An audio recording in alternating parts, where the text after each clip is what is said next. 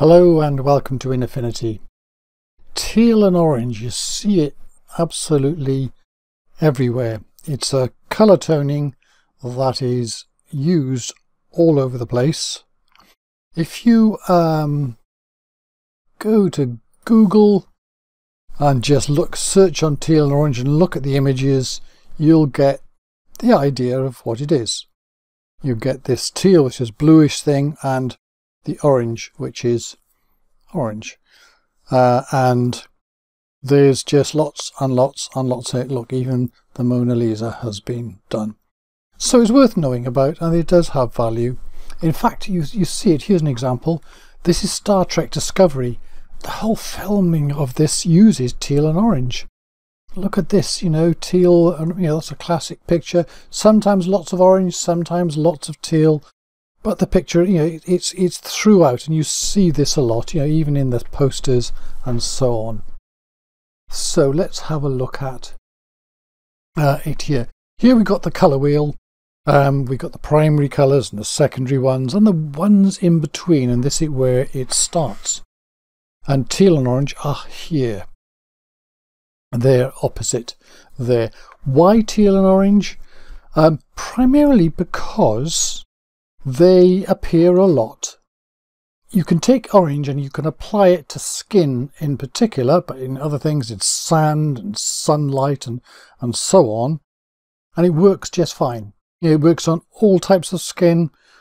Bit of orange looks just fine. Opposite it, so you've got a complementary colour in the colour harmonies, is teal or azure. And this is again, where do you see that? In the sky, apart from anywhere else, but also in, in other things, in water and so on. You don't get skies which are really blue or not much in the way of cyan. You get a lot of skies which are teal. So these are natural colours. They're also, orange is warm, teal is cool, so you've got warm, cool, and so on.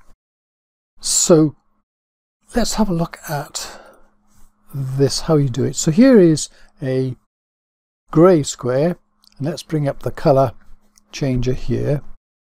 And when you've got all things up or down you've got primary colors and so on. So one up is a primary color two up is a secondary color like yellow. But a tertiary color which are these other ones in between is one up and one in the middle.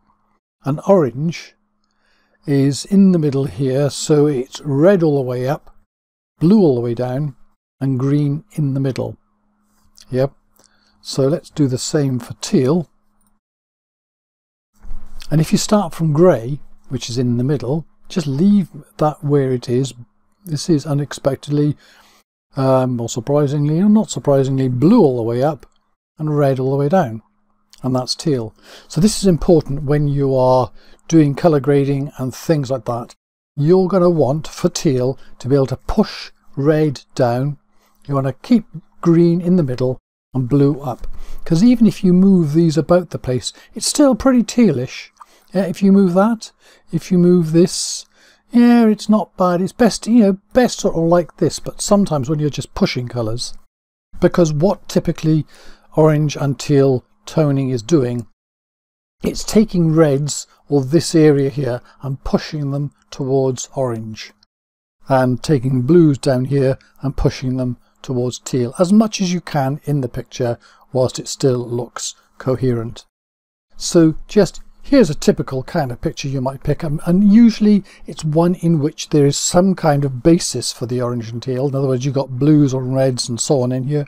This is a red stripe beer crate and you've got blues in here, you've got some cyanish here and a darker blue here. So you can do things with it. Um, if you just make the um, shadows blue and you know tight teal and the highlights orange like this. Um, yeah this is not really a color tone picture. It's, it's sort of black and white but in teal and orange and it doesn't work really.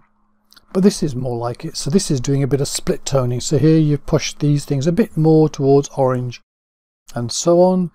You can do stronger effects like this. You can use curves um, the most powerful tool is the channel mixer and we're going to look in detail about how you can use that. And you can very much do that pushing things about the place. Uh, and then you can with that you can turn it down if it's looking a bit too strong and you can play extra games like getting more of the orange into the, the you know things like the sand here and, and the teal into the shadows whilst keeping it looking reasonable. Okay there we go teal and orange and we're going to go into detail in more videos on how to do these things Thank you very much for watching.